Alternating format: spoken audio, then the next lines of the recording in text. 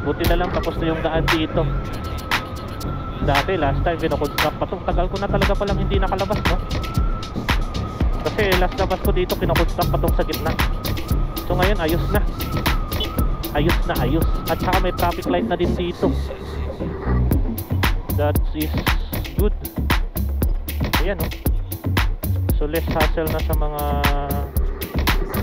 ano natin, traffic enforcers natin.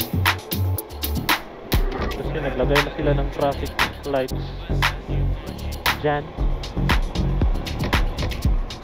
Right. Dito madami din tumatawid na aso dito.